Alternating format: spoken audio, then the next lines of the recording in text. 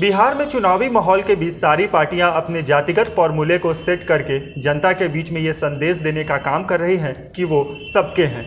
इसके साथ ही हर जाति के वैसे नेता पर भी फोकस किया जा रहा है, जिनका अतीत अपराध से जुड़ा हुआ है। लेकिन आगे चलकर वो राजनीति की नदी में गोते लगाकर निकलते हैं और फिर वो महानायक बन जाते हैं। लेकिन जनता ने कई बार ऐसे नेताओं को सबक सिखाने का भी काम किया है। एडीआर की रिपोर्ट की माने तो बिहार में 16वें विधानसभा चुनाव में 136 विधायक, यानी कि कुल संतावन प्रतिशत विधायकों के ऊपर आपराधिक मामले दर्ज हैं। इनमें से उनचालीस पर छोटे मोटे मामले दर्ज हैं तो वहीं 11 पर हत्या के आरोप भी लगे हैं। इन दागी नेताओं में अभी जो सबसे ज़्यादा चर्चाओं में नाम है, उनमें से एक काली पांडे है। काली पांडे उन्नीस सौ चौरासी में गोपालगंज से चुनावी मैदान में उतरे तो बड़े बड़े नेताओं की साँसें फूलने लगी। उस समय काली पांडे ने निर्दलीय प्रत्याशी के तौर पर लोकसभा का चुनाव लड़ा और वो संसद पहुँचे। लेकिन 2020 के चुनाव में काली पांडे कांग्रेस के टिकट पर गोपालगंज ज़िले के कुचायकोट विधानसभा से चुनाव लड़ रहे हैं।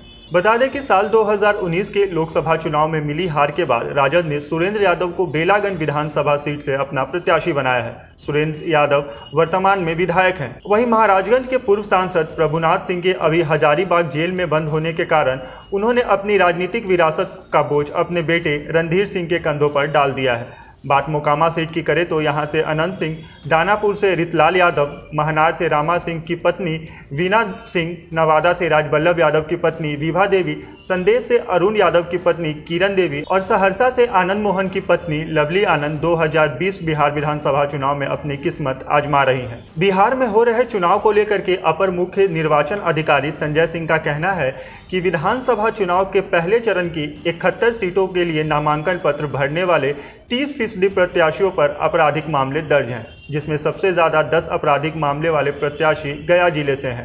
पटना ज़िले के मोकामा सीट पर 50 फ़ीसदी प्रत्याशियों पर आपराधिक मामले दर्ज हैं। वहीं हाई प्रोफ़ाइल सीट दिनारा में 19 में से 9 प्रत्याशियों पर मुकदमा दर्ज है।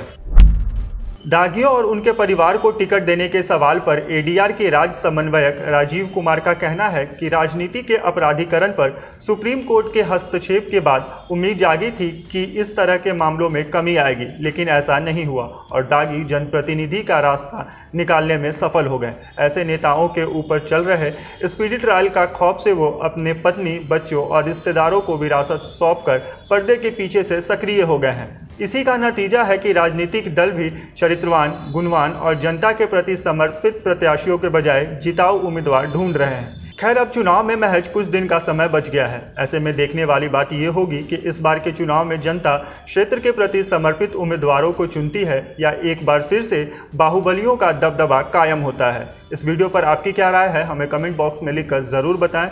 इसके साथ ही बिहार चुनाव से जुड़े इस तरह के और इन्फॉर्मेटिव वीडियोज़ को देखने के लिए हमारे चैनल द जेड प्लस को सब्सक्राइब कर लें। और अगर ये वीडियो आप हमारे फेसबुक पेज पर देख रहे हैं तो हमारे पेज को लाइक करें और फॉलो करें।